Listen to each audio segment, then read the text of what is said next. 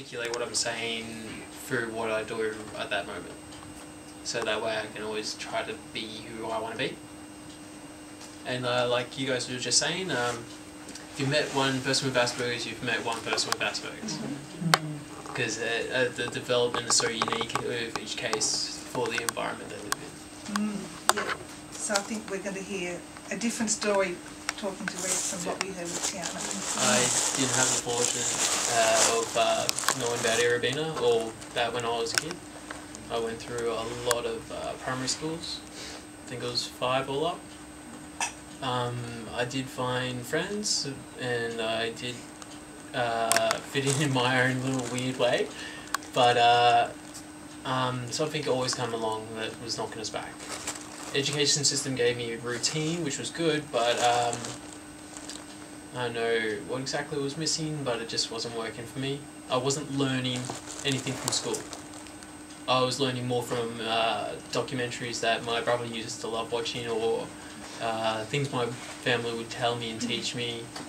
Um, and it wasn't until later on when I actually started to um, learn for myself and actually go and seek my own learning. Mm.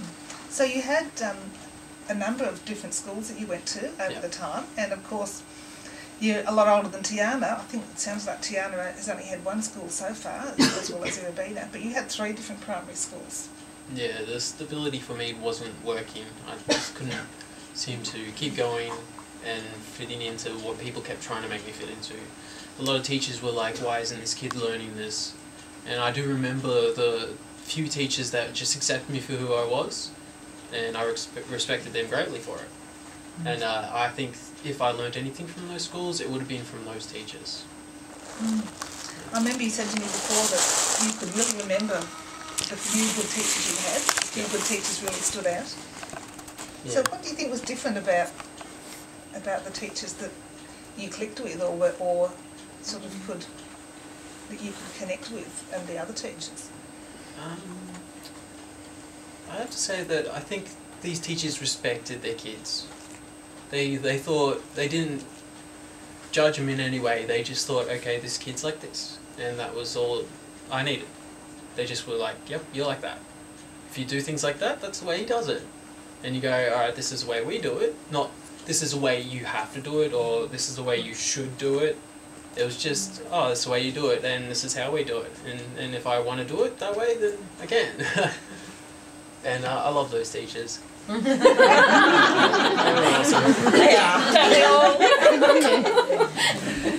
Yeah, I remember uh, grade one. Um, we were, had cut out cut um, cut out pages with uh, writing on it. I can't remember what it said, but, and um, then we had a coloured pa- piece of paper that we were um, glue sticking these sheets onto, and I remember putting them on an angle, and uh, so the corner would meet each corner, each, each wall, and I liked it. I thought it was kind of cool. This was the beginnings of your artistic. And I remember my teacher saying, no, do it again. Take it off, put it straight the way it should be. And I was like, oh.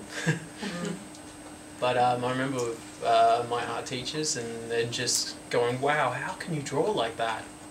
Because I would just start drawing an object from one side and just continue. I wouldn't like put a circle and then go, okay, so clock hand here.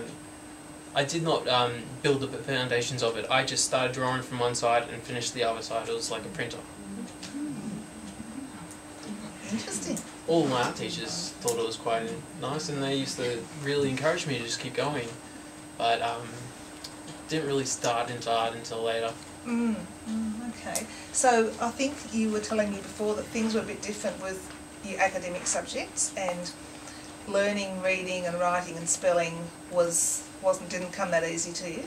Um, yeah, uh, English language isn't um, phonetic, and that's how my mind works. If I was born in Italy and I grew up speaking Italian, I'd be very good at language. um, but I just can't seem to find the hold on the uniqueness of uh, English words. Um, conceptually, I associate them with pictures that mean something to me, and that's how I speak. Um, I've spent so much time learning to articulate myself so that I could be understood about the by the people that I love. That um, this is why I have these skills. And the ability to actually talk with English um, to a, a good extent. So, ha- have you heard about um, the famous woman with autism called Temple Grandin, who talks about thinking in pictures? Is, would you I've describe yourself as thinking in pictures, Um, it's, or is it not not like that? uh, it's a bit difficult to explain. I guess uh, I'd say that a lot of things that happen in my head is a picture. I'll see something visually and I'll get it like that. If I hear something, it'll take me longer. I don't know if I'm processing it with pictures, but I know that I respond to visual stimuli a lot more. It also means I can't cut down on the information I'm getting visually. Like uh, fluorescent lights, they sting my eyes, and if I have to spend six hours in a room with them, I'll be going nuts.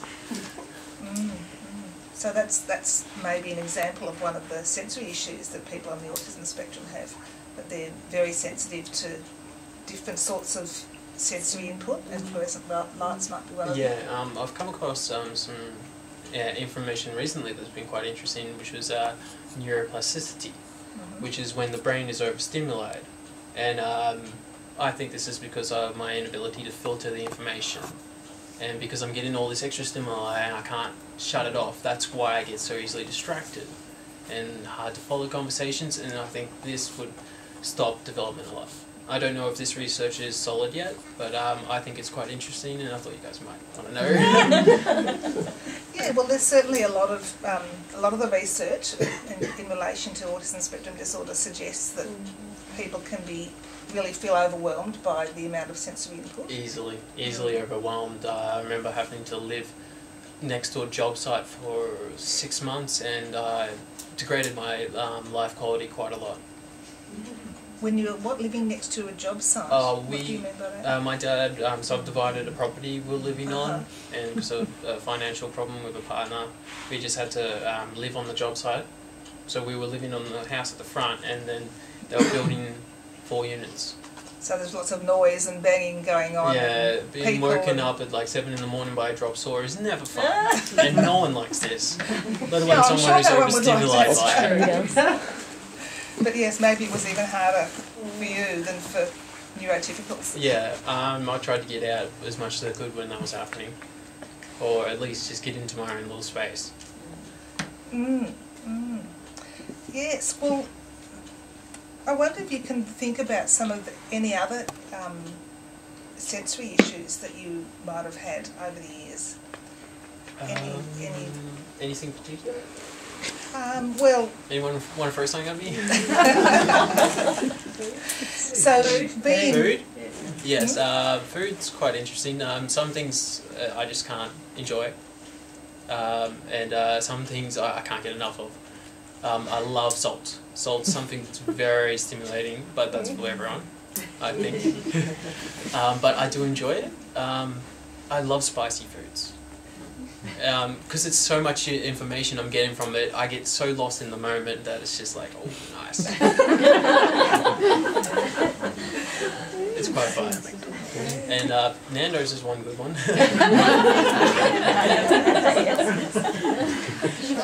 um, Can I can I say a quick one with that? yeah, this is my brother, everyone. Um, I've got, I've got a little example for food. We used to do family meals like uh, once a month, and one person would pick where we go. He used to love McDonald's, and we thought it's because he loved McDonald's food. One day he tells us not because he likes the food, it always tastes the same. so he liked going there because he knew what he was going to get. Yeah. But, yeah. And you didn't even like the taste. You said Yeah, you don't like the taste. it was just, it was never uh, a change. It was just something I was comfortable with. And funnily enough, my mum's spaghetti bolognese was always just perfect. I don't know if she did that for me, but I always loved it when she was making it. good old mum. Um, anything else on food? How can, um, can I ask, maybe a classroom? Like- Classroom? Yeah, how, how can a classroom, um, be overstimulating? Um, lots of reasons. Um, I'd say the majority would have been the social interaction and trying to keep up with cues from people. Uh, it's difficult to follow a conversation when you can only focus on one thing at a time, uh, especially when it's jumping between more than two people. I've gotten better at it, and I just process things quick enough to keep up with one person and kind of build a picture of what they're talking about. So, pretty good at predicting things. Uh, so I guess that's how I do it. But actually, I went back to high school after I left to learn social skills. I intentionally put myself into a classroom which I knew would stress me out and overstimulate me, so I could learn to cope and learn how to socialize with people and have friends. Uh,